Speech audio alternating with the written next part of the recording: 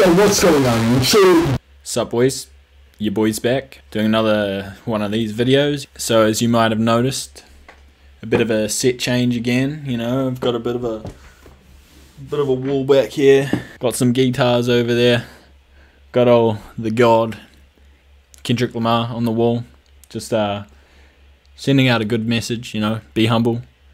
Um, he's watching over me as I uh, go about my music producing business. So today we're going to be looking at some heavy drum and bass. This is a really popular style of music where I'm from in New Zealand. Gets people going, gets people raving. So I thought now's a good time to try and uh, throw down some drum and bass. So I guess let's throw down some drums and throw down some bass and see what we come up with.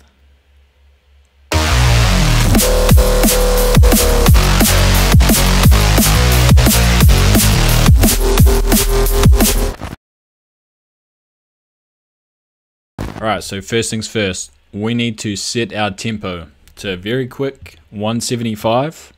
You can go with 174, you can go with 172, 73, you know, just, you know, the 174, 175, that's the sweet spot. That's where we like to be. So the first thing we're going to try and do is try and create a, a sort of dark, sort of spooky, sort of sounding build up. So the first thing I've laid down here is just an atmospheric sample. So what I've paired this with is this little brass rise sound. Now when you put those two together and I'm going to fade this atmospheric sample in, we get a really cool sort of vibe already.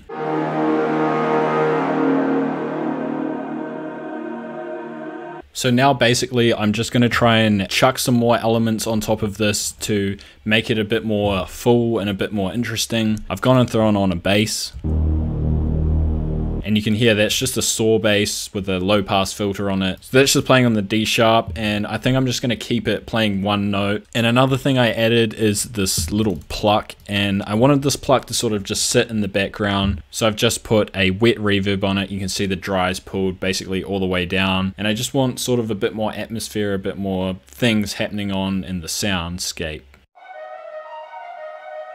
So another thing I'm going to add is just a little hi-hat hit. If you listen to this genre again, you're probably going to hear this in a lot of songs. They tend to just start the intro with just like a little percussive element.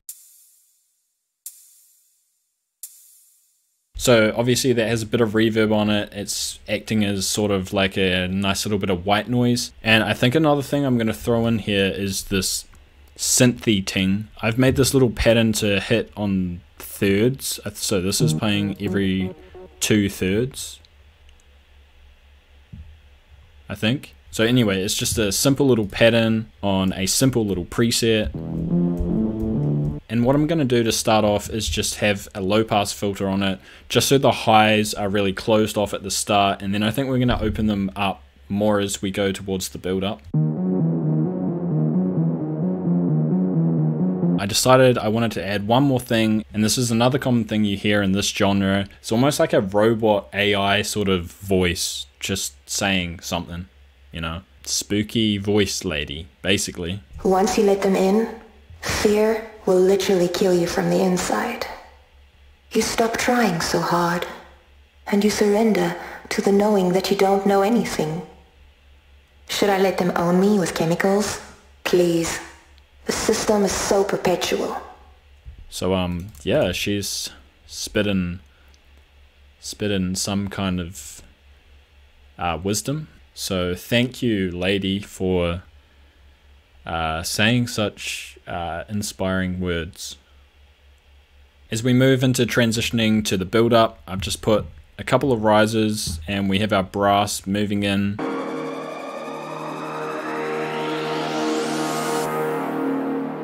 So I've thrown together a pretty simple build up section. I guess the main part of this is the drums. So what I'm going to do is start off with the drum and bass beat that I'm going to go and use in the drop and it's sort of going to morph from just the normal drum and bass beat into a build up drum. So I'm going to start with a low pass filter on them and just open them up as we get towards the, the build up and that's going to build a bit of tension.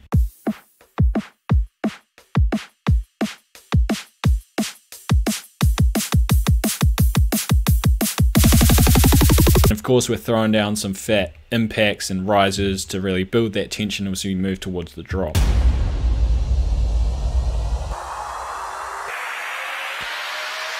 And finally, we're going to end with our creepy AI lady. She's just going to say some some wisdom again, you know. So what do you got to say, lady?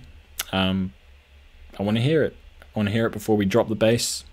Please, uh, tell us. Kill you from the inside.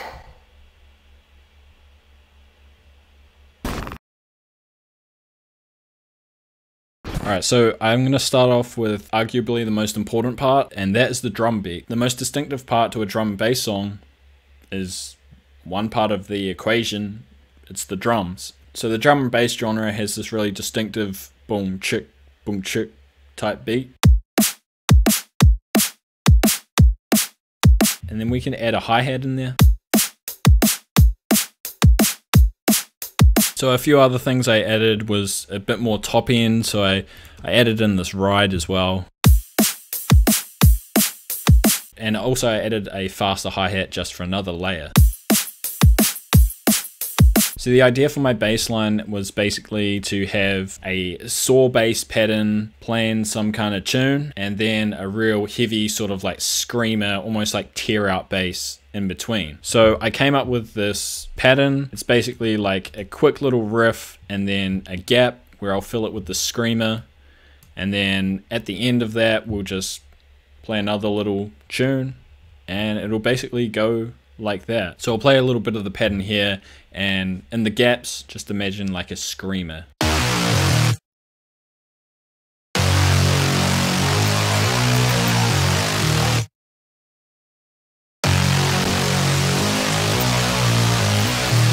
So this saw bass sound, it sounds really full and really thick, but essentially it's just an easy, easy to do sort of sound.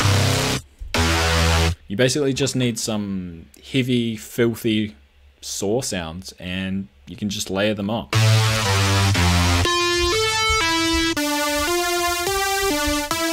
So I put those all together as a layer and then just ran them through this beefy mother freaking effects chain. You can see there's three OTTs on there. There's some distortion, some sausage fattener, just EQing along the way to just remove a bit of bad frequencies. The OTTs, they're doing the heavy lifting. If we turn those off.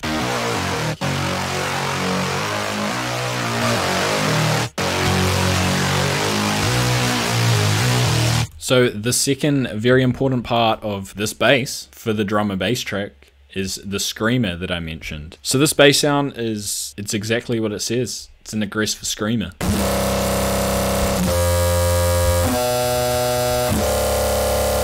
And it's got this really fun little knob down here. It is called sick mode. Basically, we just got to twist this and it gets sick.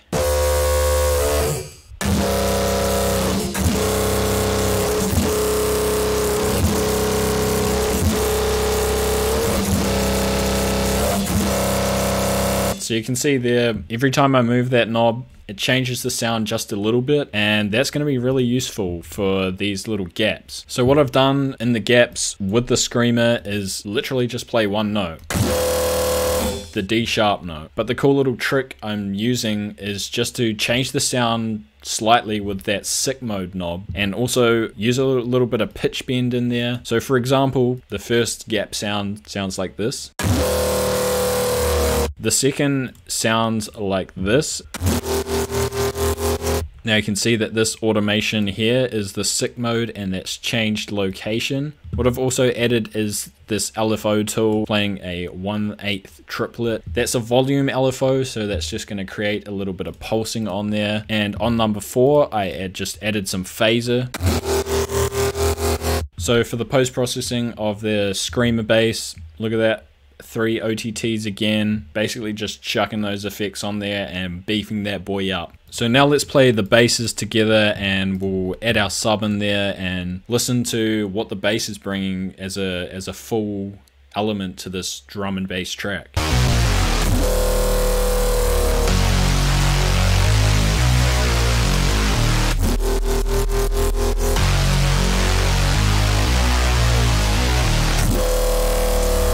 So when we get to the middle of the drop, I just added this little mid-drop fill. Essentially, it's just changing the drum beat up a little, adding some endless smile, chucking in a riser, and upping the reverb on the bass. And yeah, that just acts as a sort of transition.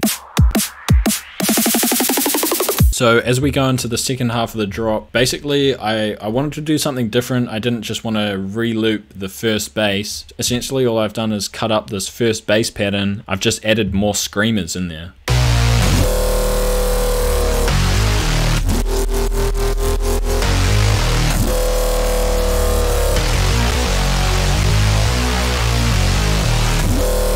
So that's essentially it. Hope you guys found this helpful. Hope you guys go and make some drum and bass. Hope you enjoyed the video. Enjoy the final result. See you in the next one, boys.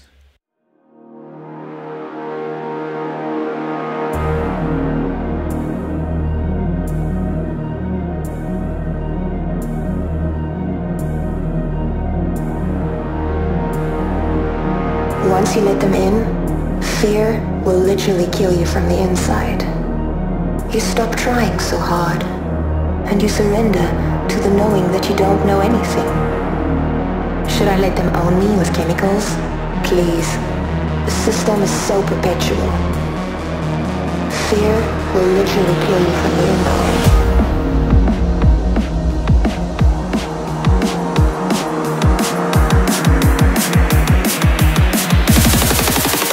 you from the inside.